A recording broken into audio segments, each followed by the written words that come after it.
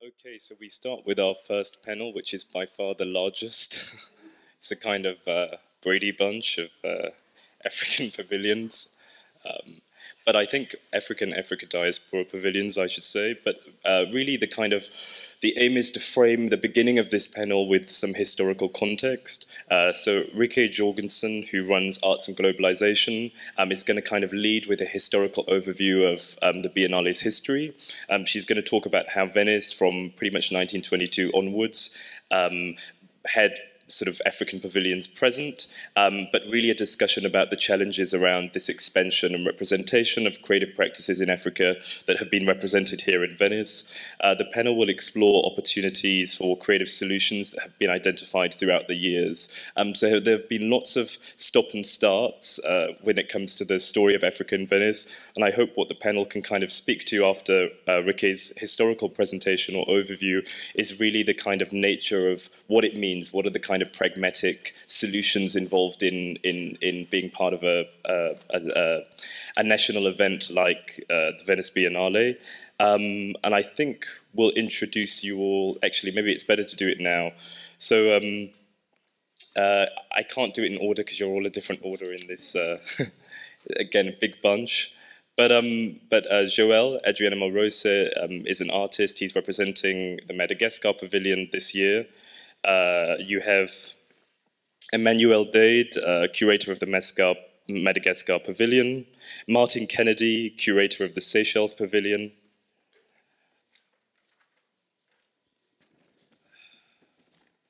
Nkule Mabaso, curator of the South Africa Pavilion, Nomusa Makhubu, uh, curator of the South Africa, co-curator of the South African Pavilion,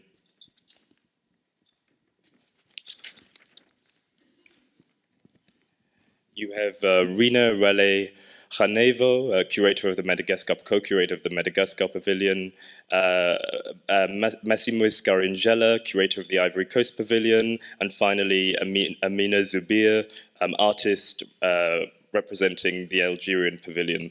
So I think um, that's it, and we'll start with Rikke, and then we're going to go into a more general panel.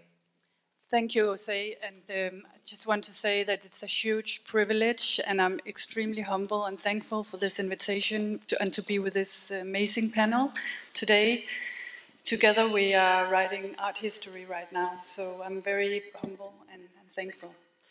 So, I started Arts and Globalization platform uh, in 2015, and Osei was actually part of it. Uh, he was one of the speakers, and I also invited Okwui Enwezor, but he was, of course, busy doing uh, the biennial.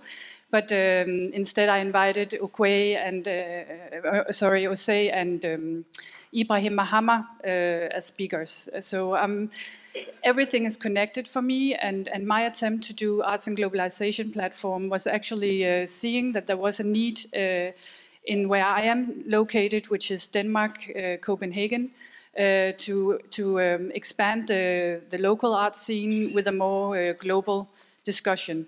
So that was what I tried after having lived in Paris and Barcelona and different places in, in Europe. Uh, I came back and I, I, wanted to really make an impact on my local art scene.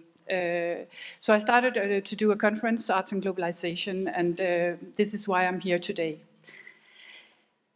I have had this uh, wonderful job to give a short overview of the African uh, participation in, in, the Venice Biennial since uh, 2022. So I will start very uh, fast uh, and actually just say that the Venice Biennial was, of course, created on April 1893 uh, um, where the city council passed a resolution to set up a biannual exhibition of Italian art uh, to celebrate the silver anniversary of King Umberto I and Margherita of uh, Savoy.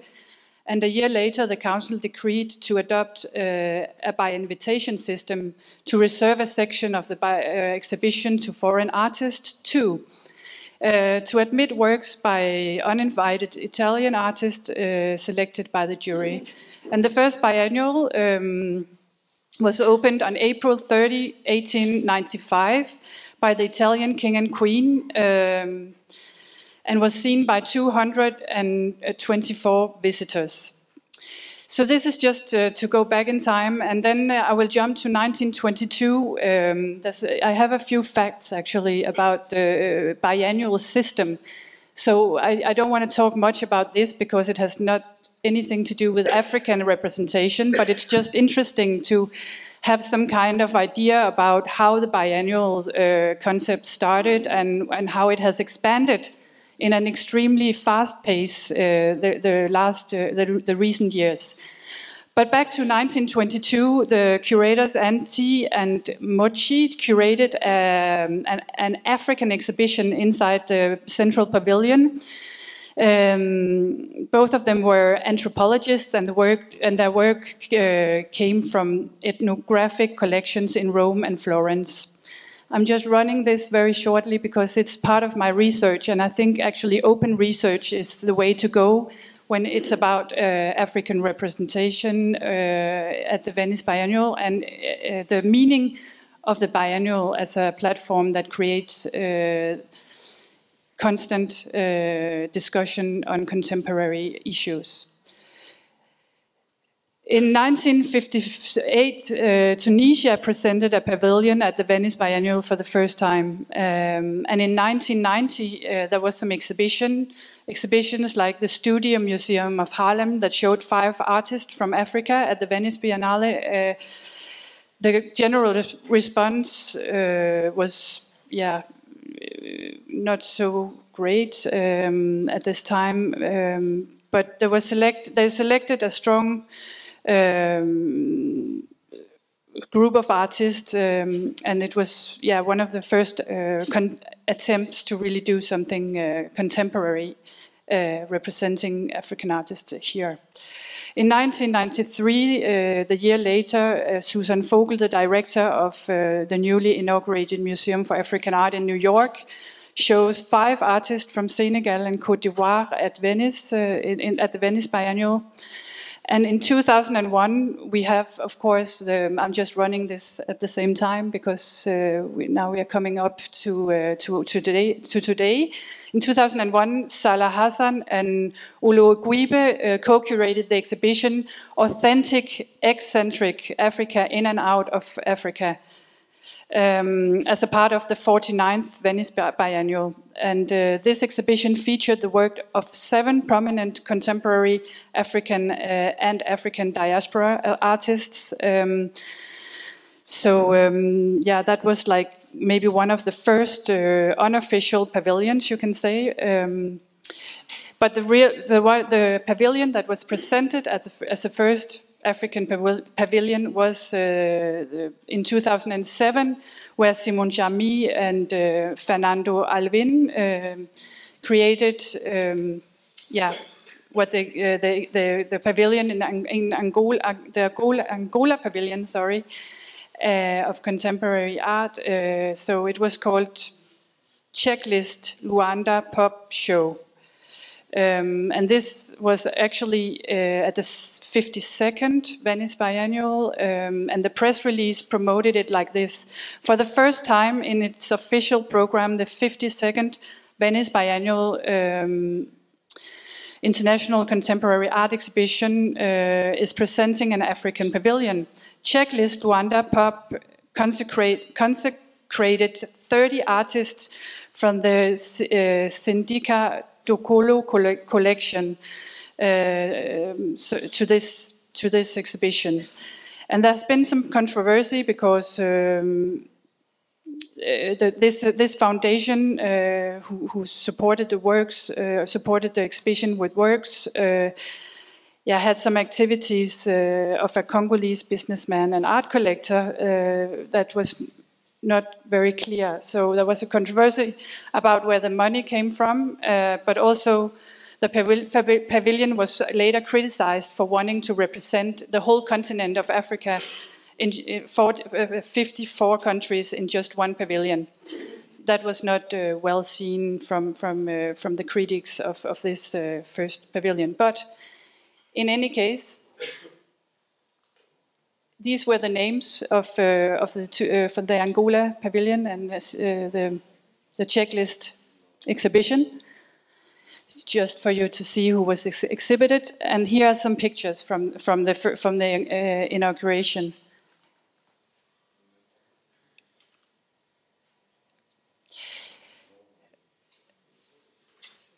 So this is, yes? It was, it was just to add to that chronology 2003, Gilane Tawadros did uh, Fault Lines. Yes. And that was about an exhibition about Africa and African diaspora.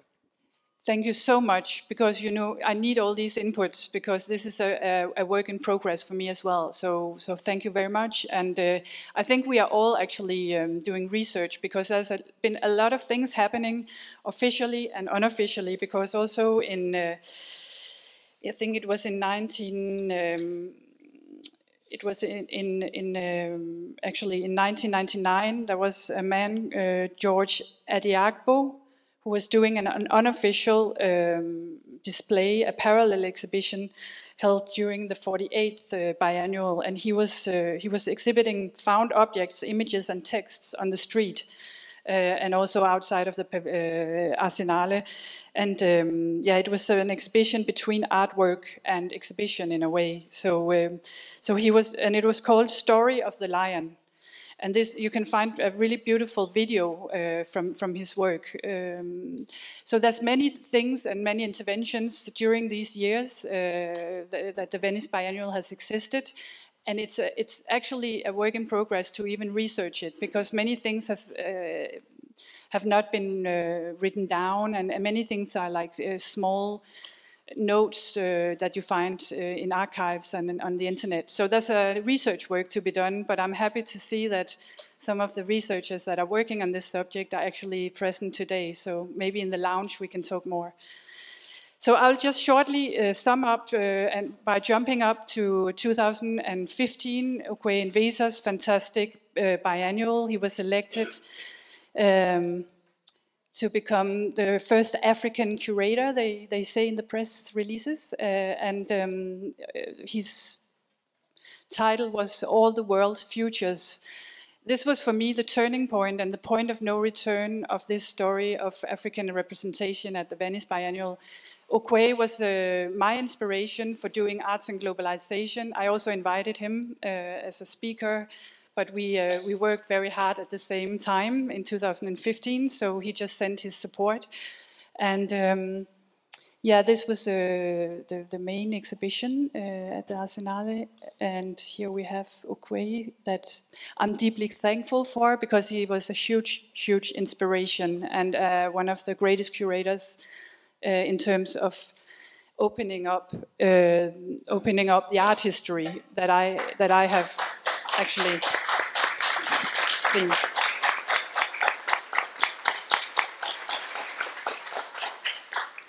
But the story will continue, and we are now up in 2017, where um, uh, eight African countries presented national pavilions in, in 2017, and that was Angola, Cote d'Ivoire, Egypt, Nigeria, that has had their first pavilion, South Africa, Tunisia, Zimbabwe, and uh, Kenya. And then um, in 2019, where we are now, hopefully uh, and fortunately we have the representatives sitting here next to me so i don't have to give any overview i will just let uh, the, the, the real contemporary uh, present moment speak for itself um, and uh, yeah just mentioned that ghana has its first pavilion and uh, madagascar has its first pavilion and we have uh, representatives uh, from uh, at least one of the pavilions here today. So thank you very much, and I'm looking forward to talk to you all. And also, I would just say that African representation in Venice, for me, is about the relationship between Europe and Africa. And this is a very important relationship for both parts. So we are both um, in this relationship committed and, and working hard to, to go forward and into the future together. Thank you.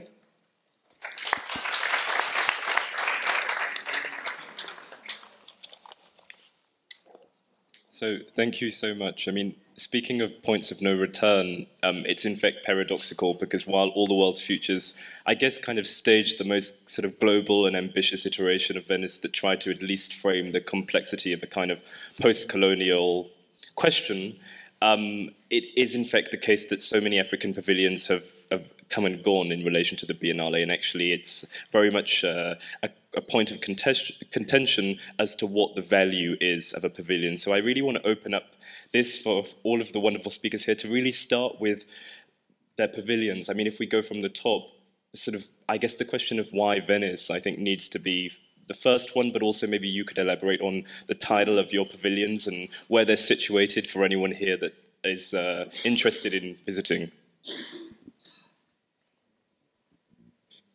Thank you, Osei. Morning, everyone. Uh, my name is Martin Kennedy. I'm curating the Republic of the Seychelles Pavilion. And we have two artists uh, creating work this year, uh, George Camille, Daniel Dodin. Why are we here? Well, we are a very, very small country. We're a small island nation of fewer than 100,000 people. We would all fit into a large football stadium. It's always been a danger that the work that develops in the Seychelles ends up being less authentic as a unique African voice. Um, it was mentioned earlier, how do we want Africa to be? Africa, in my view, and I've lived in Seychelles for 22 years, needs to be itself. It needs to be authentic. And it has a multitude of voices. Our voice, we feel, or the artists of Seychelles feel, needs to be at Venice because it gives a different voice, a different kind of voice with a different kind of audience. It enables us to be part of a truly international dialogue. And I agree with the last speaker. I think you're absolutely right. This is about the relationship between Europe and Africa. I think in Seychelles, we also have to mitigate some of the negative effects of our bread and butter industry, which is tourism. The role of tourism across Africa varies from one nation to another. But it's a sobering thought to realize that of the multi billion dollar tourism industry, which is certainly set to increase over the next period of time, about 4% comes to Africa. 4%. If you compare that with revenues in Europe, Asia, the United States, it's a very, very small amount. Nevertheless, in Seychelles, we rely very greatly on tourism to keep our economy afloat. And therefore, we find that in many cases, artists' work, artists' productivity and output is, if I may use the word, compromised by the need to sell to tourists. Uh, we put a book out two years ago called uh, Art in Seychelles Then and Now. And the research for that book involved meetings with pretty much everyone making contemporary art in Seychelles. I pitched the questions differently to each person, according to their work and their practice and their vision.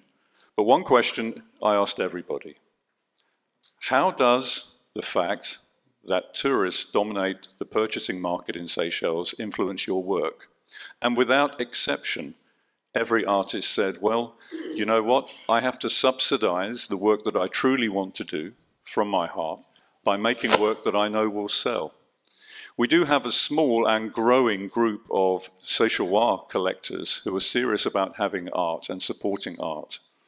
But still, the lion's share of work is sold to tourists who then take it away with them at the end of their holiday. And so we have this dilemma. Just as in the States or in Europe or other countries, an artist will very typically teach in order to support her or his uh, if you like, uh, more authentic personal work. In Seychelles, we find a different balance where an artist is likely to produce one set of work to sell in order to support not only food on the table, but the production of another set of work, which has a greater personal investment and authenticity. Now, it's this second kind of work that we, and by we I mean national and private sector NGOs in Seychelles, are seeking to promote. In 2017, we were not only here in Venice, we were here in 2015 as well, by the way, that was the first time.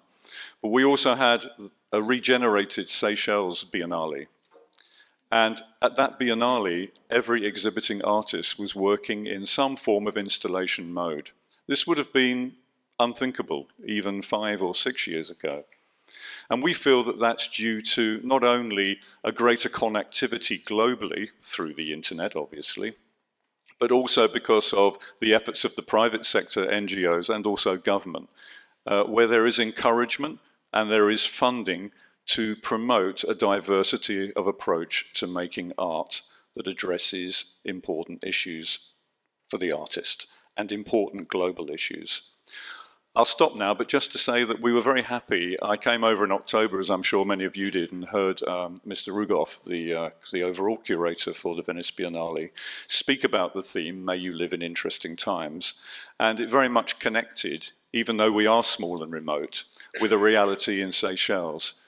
How do we discriminate? How do we uh, identify authentic information? How do we break out of our individual knowledge silos, which are often portrayed as a kind of right wing thing? But I think they're everywhere. They're on the left, they're in the middle, they're everywhere. And we all have to be wary of the fact that we are quite capable of digging our own silo and only allowing data and information in which reinforces our current position which is, of course, the opposite to the old age of enlightenment approach, which was, hey, look, this is what I think, knock it down. This is what I think, challenge me, give me something different to consider. That seems to be less prevalent today than perhaps at any other time that I can remember. So I think that engaging with the theme, engaging with Venice, the artists that we have here have done both of those things, and they are an important channel, an important artery of connectivity between Venice, European perspectives, international global perspectives, and the very specific, unique African perspectives that we experience every day in Seychelles. Well, I think in relation to those African perspectives, it's good, yeah, to hear across the panel. I think it's it's also really important that you all sort of out, outline, you know, what your pavilions are about, because I think in many cases some of you here have a short amount of time to see things, and you're kind of eager to know where things are and you know what's going on. I'd also highlight that in relation to Ralph Rugoff's theme, um, some of you might like to elaborate on these in, in further dialogues, sort of the more specific ideas related to um, you know why you've chosen a specific theme or um, concept. Yeah, uh, we're at the Palazzo Mora, by the way, just to plug that, and we have an opening that you're all very warmly invited to on Friday at 4 p.m. Thank you, Martin. Okay.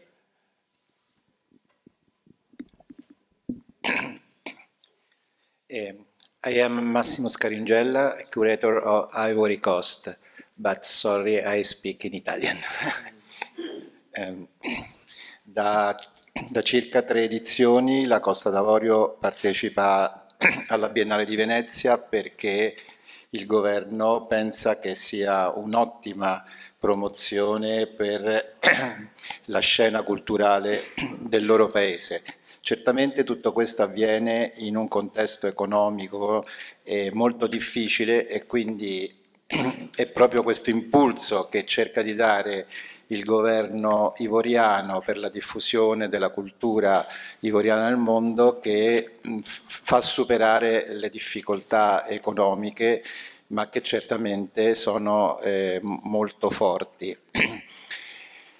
E, ehm, la scena eh, culturale e artistica del paese è molto attiva e, e anche se eh, siamo anche lì in presenza di una diaspora, la maggior parte degli artisti eh, vanno o negli Stati Uniti in Europa per cercare un un tipo di contatto, una diffusione più forte rispetto a quello che potrebbe dare la permanenza nel paese, ma eh, la presenza di alcune buone gallerie e con eh, varie presenze nelle fiere internazionali e di operatori che cercano di, di, di far eh, uscire fuori questa, questa, questi ottimi artisti stanno aiutando molto eh, la, la presenza della, della Costa d'Avorio degli artisti ivoriani nel, nello scenario internazionale. E nel nostro padiglione sono presenti quattro artisti, Ernest Ducou, eh, Ananias Lekidago, eh, Valérie Oka e Yan, Yan Ruran, che è un artista cinese ma che ha pre presentato e fatto un progetto nel, nel, nel, corso del tempo in Costa d'Avorio e tutti e tre lavorano nell'ambito del, della memoria e di come la memoria del, della loro esperienza eh, in Africa venga poi tradotta nell'esperienza eh, visiva di quello che loro producono. e, um, Ananas Lekidako è fotografo, Ernest Doku è um, un artista eh, pittore e um, Valerio K è una performer che cerca eh, di portare avanti il discorso della presenza della donna nell'arte africana, che è ancora uno dei temi che è rimasto indietro rispetto alle dinamiche dell'arte attuale. Ecco, questo è tutto. Grazie mille. So I think that on that note again to try really to be precise about what it is that your pavilion represents. Joel and Rina, if you could, I think you're going to help each other out. Okay. Thank you. Hello, I'm Rina Ralay-Ranaivo. I'm co-curator of Madagascar Pavilion. And uh, to the question, why Venice? Because we deserve it. And I, I will let my, my friend and my artist, Jolan Masu, to, to take to, to, to, to give you first his impression because this pavilion exists because we have Joel. So I let him to, to start. Hello, everybody. Uh, good morning. Thank you for this invitation. Um, why Venice? And why not Venice? I think it's just uh, why not? We can be everywhere, and I think it's also important to be in Venice. There is a, there is one point that I just want to to point. Actually, everybody is saying that um, Madagascar is coming to Venice for the first time, but I think it's also important to say that Venice is receiving Madagascar for the first time also. It's quite important, I think, uh, because there was a kind of a long history that you were telling us about, you know, Africa was coming to Venice and everything. So I think we can also say something that they have to be proud to have us here. Uh, the Madagascar project, the Madagascar Pavilion, is, uh, well, it's a project from my heart, from my country, actually, and from my head and everything. I'm not going to talk about the piece because the piece is now in Venice. It's already open since like uh, 45 minutes, so you all can go to the Arsenale. It's something related to Madagascar in terms of uh, emotion, in terms of uh, yeah, in terms of feelings, in terms of how, how can I say that? Yeah, let's say emotion, but the piece is talking to the word, and this is for me, this is the process, and this is one of the most important statements of this project, that Madagascar is not talking to Madagascar only, Madagascar is not talking only to Africa, even if we are in an African forum, Madagascar is talking to the world and the world is, the world is talking to Madagascar. And I think we all agree on this table that uh, we, we can separate uh, just like uh, Africa, the continent, or our country, you know, that uh, we are like different. I think we are just, it's not the globalization thing. We are just like, yeah, we are on the same boat, we are on this, in the same world, and we are just like, uh, yeah, we are trying to do the same thing. And my real statement is, I'm an artist. Of course, I'm carrying this, uh, this Madagascar panel, but as an artist, I think I can do many things. I can be everywhere. I can be sad and can be happy sometimes. I can laugh, and I will die one day also. So come to the Madagascar Pavilion.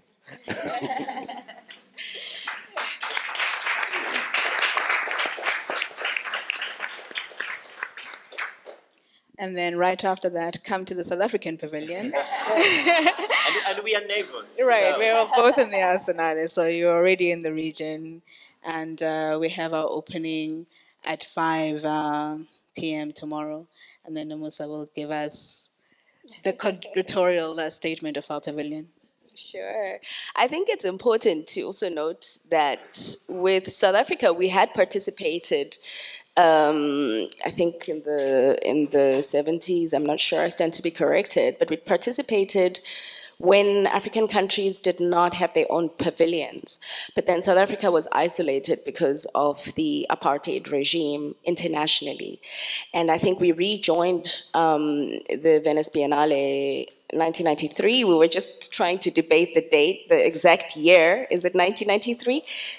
It's, it's not um, so there, there's there's some significance to that, mainly because the question of why Venice, we can only answer and make sense of it locally.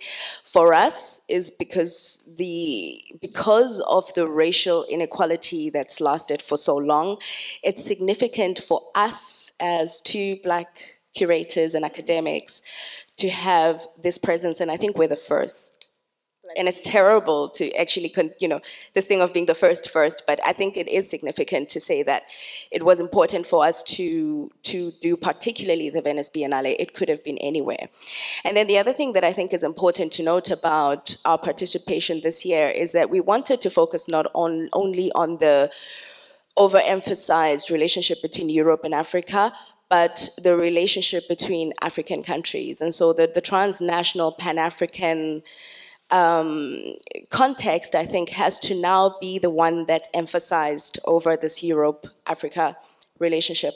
So our pavilion uh, is titled The Stronger We Become, and it focuses on social re resilience precisely because of that, and because of that global history that we've had. I mean, if you think about the apartheid movement, we needed an international, we needed an international movement to fight it we needed other African countries to fight it. And so with the pavilion, we, we're emphasizing some of those issues around displacement. And I think some of the issues, when you mentioned fault lines, I was smiling because I think that Gilane Tawadros exhibition was really brilliant in emphasizing the political geography um, of our struggles. And so, so the, the, the, question of social resilience comes on the back of social resistance as well. And so with the three artists that we've selected, Dineo Seshepo Tracy Rose, and Mawande Ka Zenzile, we really hope to um, incite a number of dialogues surrounding the various issues that we're currently facing today, and also what these borders mean, um, even in our own continent.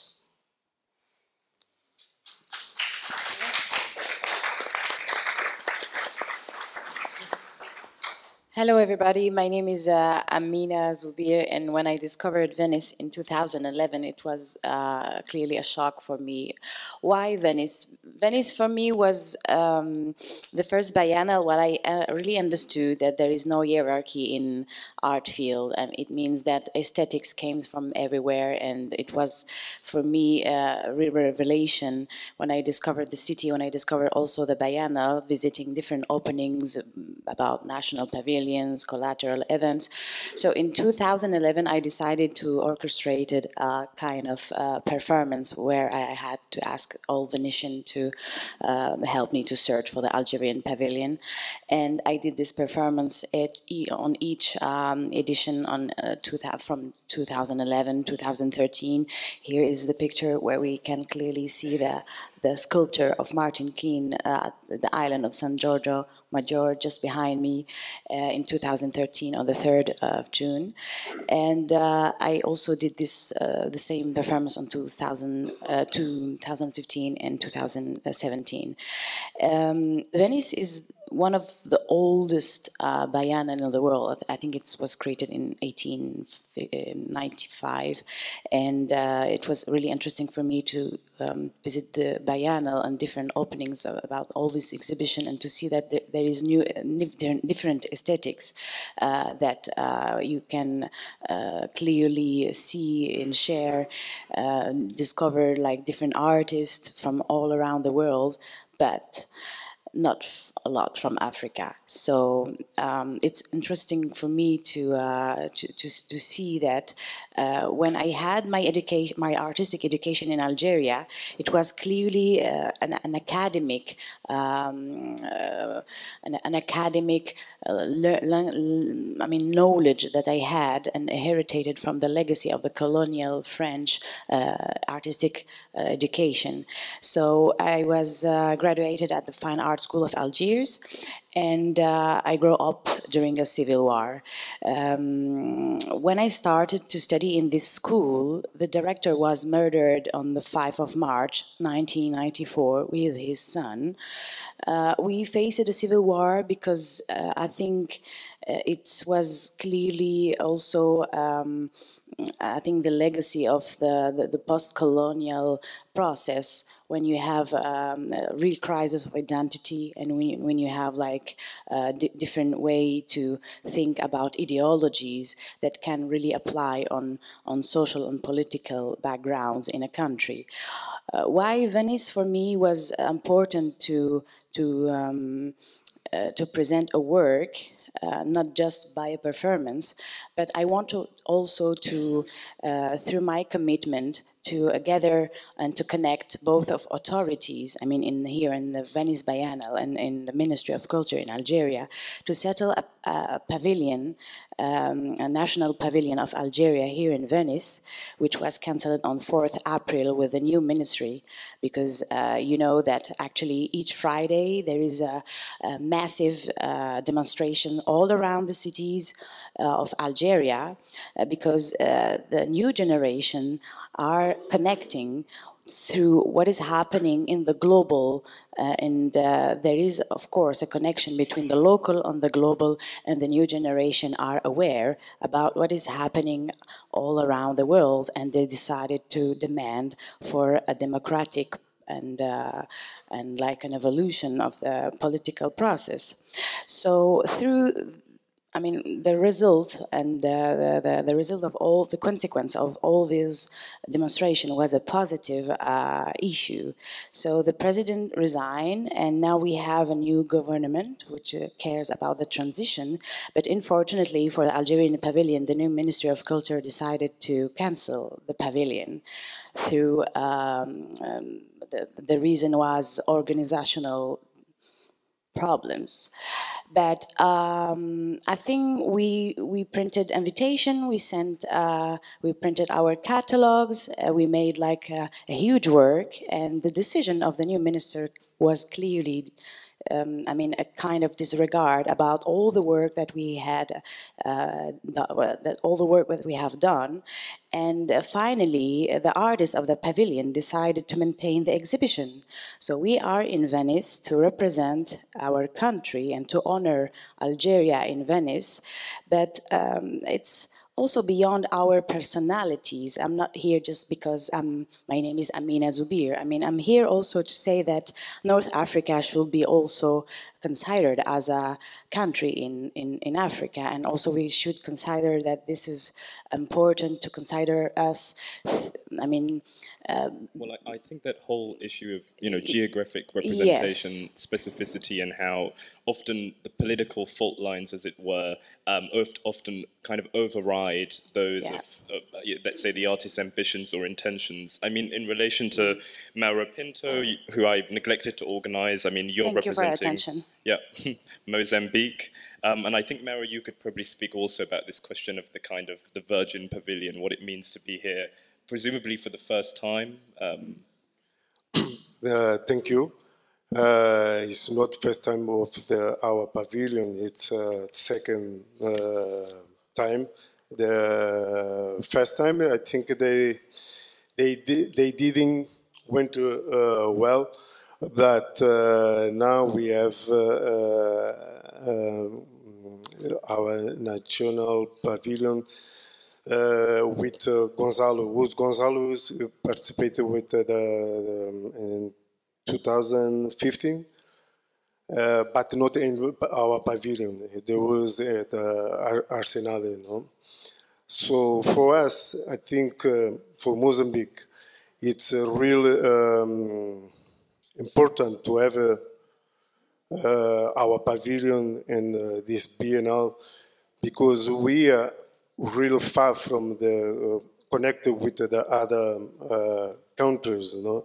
So this platform for, for us is going to be uh, is some door for uh, our country with other countries too to connect it uh, with uh, other artists and uh, other gallery and other platform of the, the art. I think that is it.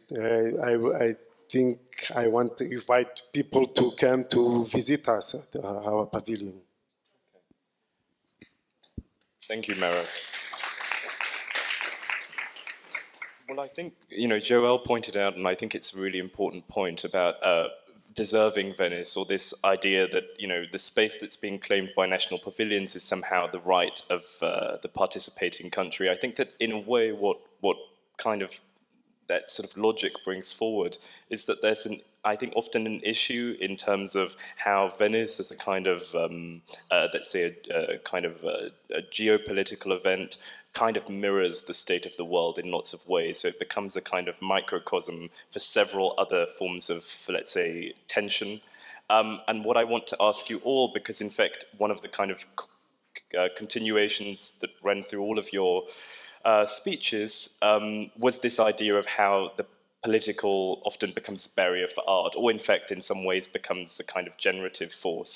But I want to start by what were the kind of biggest, I want to end with, what was the biggest obstacle that you faced in creating a pavilion or bringing the pavilion back to Venice? Um, and if so, could you outline, you know, very specifically what that, what that hurdle or barrier was? But starting with Martin and moving up to Mauro, then we'll open out to questions. Actually, uh, to be honest, we, we had a reasonably smooth ride. Um, when we first came in 2015, it was necessary to raise sponsorship, and the exhibition was put up by uh, an NGO, the Seychelles Arts Project Foundation, which was specifically set up to deliver an exhibition, a pavilion in Venice, for the first time for Seychelles. And then the rules changed, and so from 2017 onwards, um, it has been the government of Seychelles uh, which has um, enabled the pavilion to be realized, and that is the case this year as well. So uh, we, by we, I mean the commissioner, Galen Bresson, who's standing at the back of the room, um, the artists, our administrator, Ilaria Isolo, who is also here today. Uh, we formed a team which I think uh, went pretty smoothly. Um, I can't actually identify anything which was a major, major problem. We also uh, benefit for the third time from the support from the European um, Cultural Centre and René Rietmeyer. Uh, he has a great love for Seychelles and he has helped us now three times to realise our shows here. So we're a bit spoilt perhaps, we're a bit lucky. Um, I'm sure other, other people on the panel will have uh, uh more to say on this. It's complex. it's a complex thing, you know, because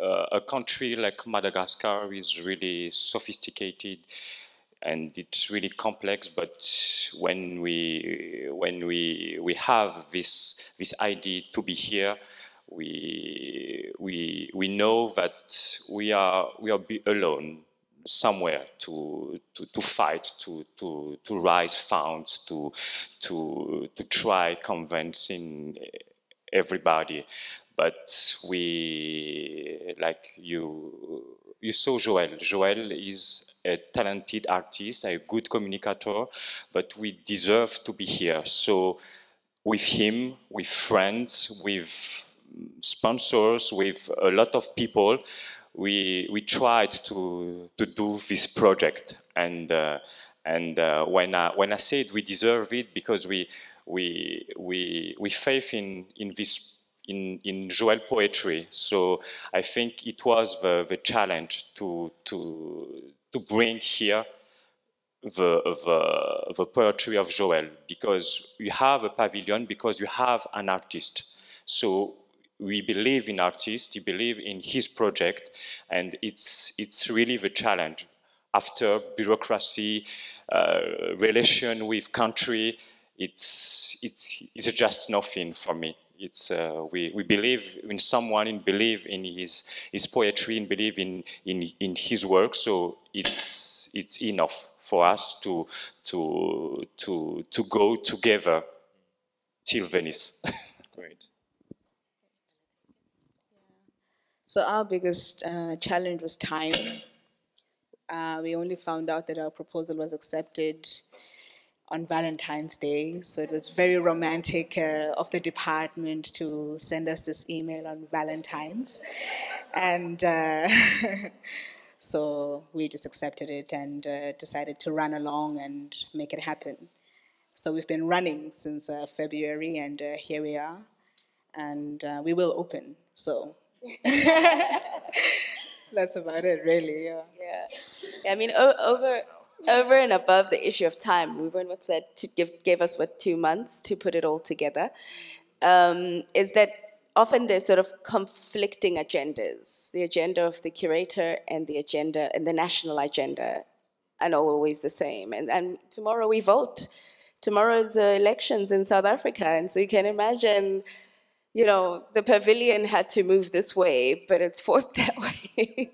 so I think that's always the the, the, the, the, I think it's a main challenge is that sometimes because it's based on this sort of government, and we're facing in, in the post-colonial neoliberal space, this sort of need to create these things as services that can be delivered. And for us, it's actually about realizing the ideas and the concepts and you know, that's completely different conflicting agendas. And so I think that's one of the major challenges we faced.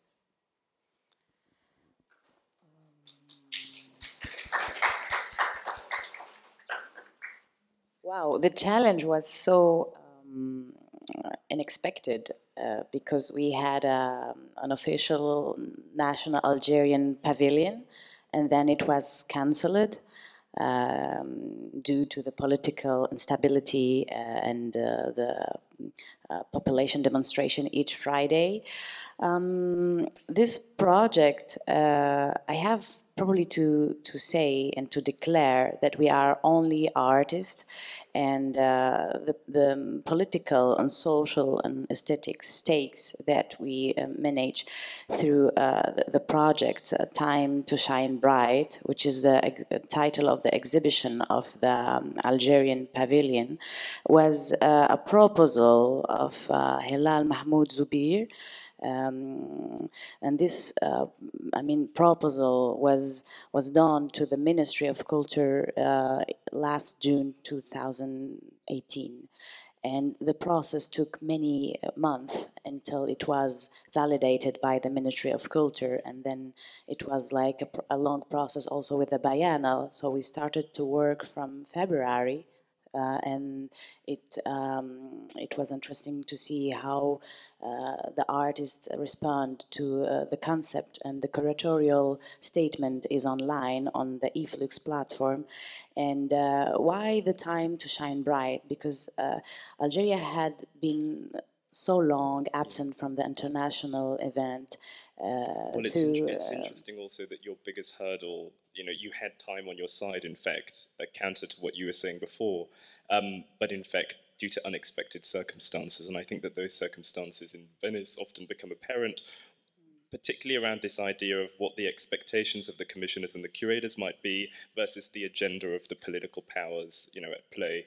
But I'm curious to know, Mauro, if, if there were at all, or were you one of the pavilions that, like Martin, had a kind of seamless transition uh, sorry, I didn't get it. So about the, the challenges, the, one challenge that you faced as a. Too many? Too many, exactly.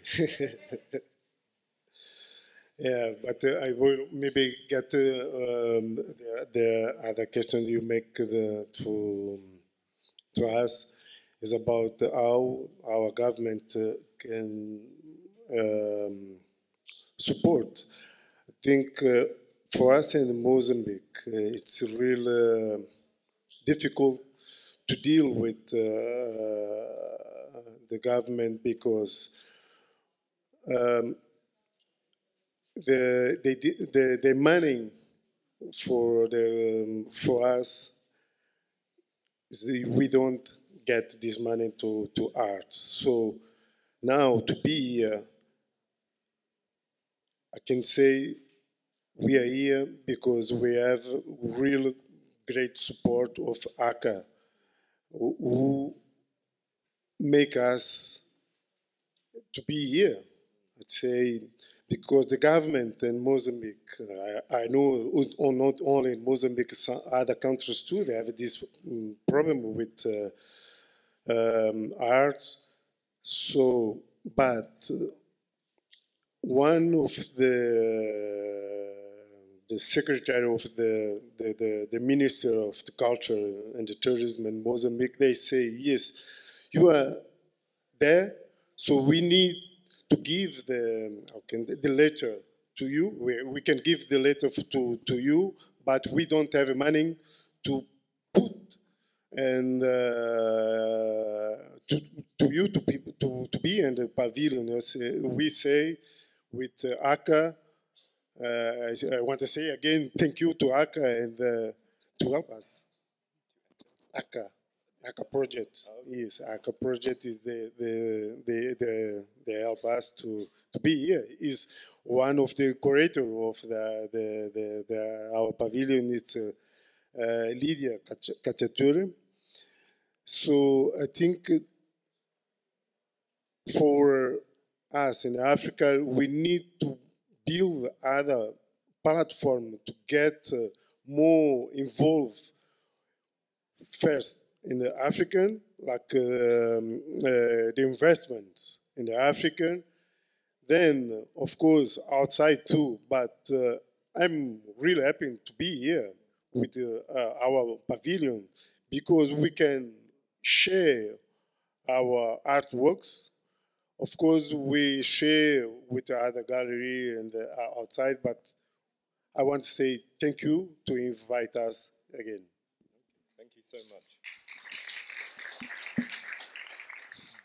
Maybe there's one question actually I'd like to ask. Um, you know, you have been involved with the South Africa Pavilion, particularly for this reason that the, the previous editions that have gone by, there's been a question around what constitutes an official representation of South African artists, and with there being a actually relatively recent um, set of political concerns, uh, particularly around these questions of what what constitutes yeah a national representation that somehow fits the country's political agenda.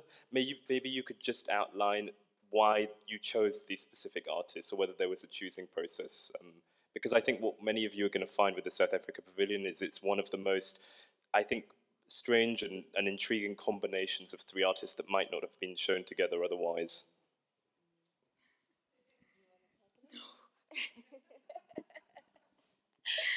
um, so, I mean, uh, you know, amongst those artists, Tracy Rose has been at the Venice Biennale before. Um, do you know as well? Do you know? The future Art Prize, the Pinchuk. Yeah. Yeah. So you know, it's it's it's artists who have sort of become very visible globally, but not but in South Africa somewhat marginalized. Um, and for us, the selection wasn't so much in trying to get a broad representation of South African art or the South African art scene, but in selecting artists and artworks that enable us to articulate the sense of disenchantment that South Africans are feeling right now. And, um, and the artists who could do that in such a raw way, I, I mean, you know, if you know Tracy Rose's work and Dineo Seshee Bopape, it's such, and even Mawande, it's such raw ways of working with affect, with uh, um, with the um, you know when they the way they work with materials as well.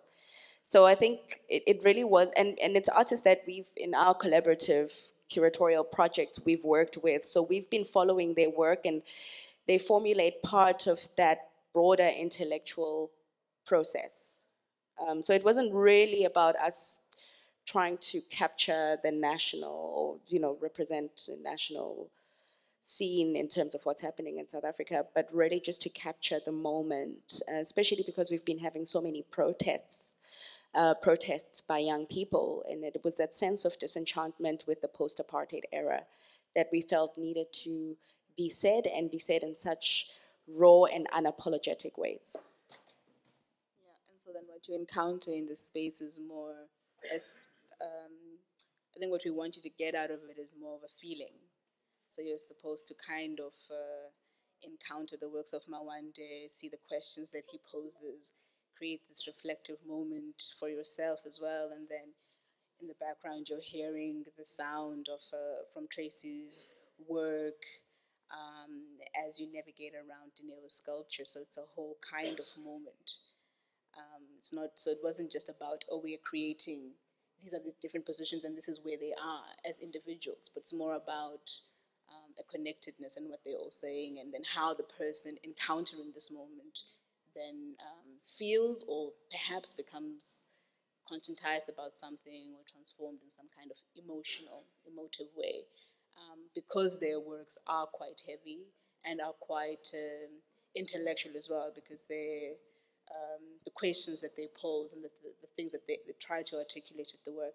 And also, a lot of it requires uh, the person experiencing the work to bring a lot of themselves into it. Um, yeah. We're all really excited to see it. Thank you all so much. And afterwards, uh, we're going to present the film of uh, George Adéagbo, who was mentioned earlier, one of actually the first artists of African descent to, to show here in the Biennale among um, among the pavilions. So I think that um, that's hopefully ready.